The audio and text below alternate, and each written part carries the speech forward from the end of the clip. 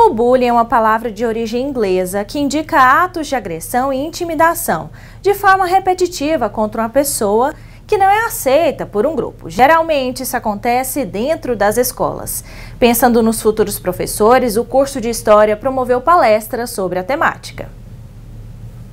Essa discussão é uma didática do estágio supervisionado do curso, que reuniu estudantes, professores e egressos para debater um assunto muito importante, o bullying escolar. Ao trazer temas como esses, não é, e o bullying escolar, é, nós acreditamos sim que pode contribuir muito para esses professores que estão nas, nas escolas, que estão no cotidiano da sala de aula, de se prepararem melhor, com mais conhecimento e qualidade para o enfrentamento dessas questões. O palestrante ainda explica que o método-chave de lidar com bullying é ouvir os alunos e aplicar didáticas que perpassem os preconceitos sociais. A causa está na banalização da violência, da gente, inclusive, categorizar violência como bullying, que é uma expressão americanizada, que serve único e exclusivamente para traduzir o que seja violência.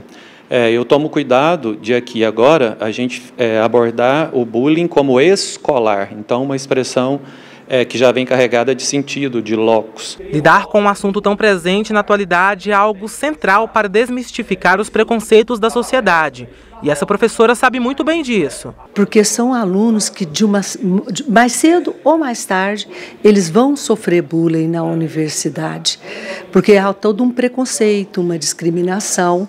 O diferente assusta, né? E o diferente, ele, ele acaba sendo discriminado. Além dos docentes da universidade, os acadêmicos também consideram que ouvir e entender métodos para lidar com os alunos na sala de aula é essencial. Eu acho muito importante, porque eu aproveito dessa palestra, que é o bullying sendo falado para professores e futuros professores, para você trabalhar isso dentro de sala de aula com seus, seus futuros alunos.